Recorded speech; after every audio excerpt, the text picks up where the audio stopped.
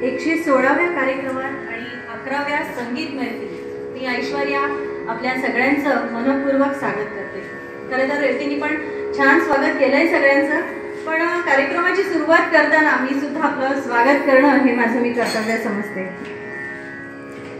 सृजनतर्फे कायमच दर महिन्याला नवनवीन प्रायोगिक कार्यक्रम सादर होत असतात.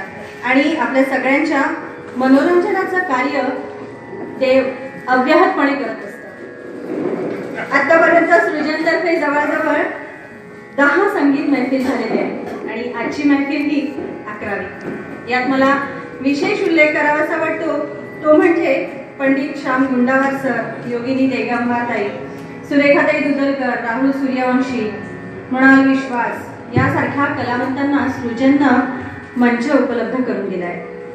आशिषजींचं हे कार्य खरोखरच कौतुकास्पद आहे. कायमच नवा कार्यक्रम नवा कलाकार आणि नव्या निवेदकाला संधी आणि उत्तम नियोजन ही त्यांची खासियत. अजून काय बोलू? आजच्या कार्यक्रमाविषयी बोलायचं झालं तर मंगेशजींनी अनेक कार्यक्रमातून आपली गायन कला सादर केलेली आहे. आपले गुरु श्री गजाननराव वडगावकर यांच्यासोबतही त्यांचे अनेक कार्यक्रम झालेले. आहेत. शास्त्रीय संगीत नाट्य संगीत गझल सुगम संगीत चित्रपट संगीत अशा प्रकारात त्यांचं गायन फुललंय. आजच्या कार्यक्रमात देखील आपण या सर्व गायन प्रकारांचा आनंद घेणार आहोत. चला तर करूया आजच्या संगीत मैफिलीला प्रारंभ. आजच्या कार्यक्रमालाही आशिषजींनी छानच शीर्षक दिलंय. मागे उभा मंगेश. खरंय. आपल्या सर्वांनाच मंगेश म्हणजे ब्रह्मा विष्णू महेश सृष्टीच्या या सृजनकर्त्याचा आशीर्वाद आहेच. आणि यातील महेश म्हणजेच मंगेश. त्यांचं स्मरण करून कार्यक्रमाला प्रारंभ करते.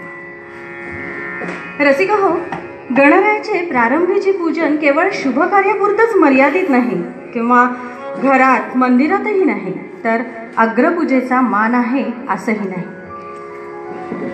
संगीत नाट्य नृत्य लोककला आदी कलेच्या प्रांतातही आधी नमन गणरायाला केलं जातं.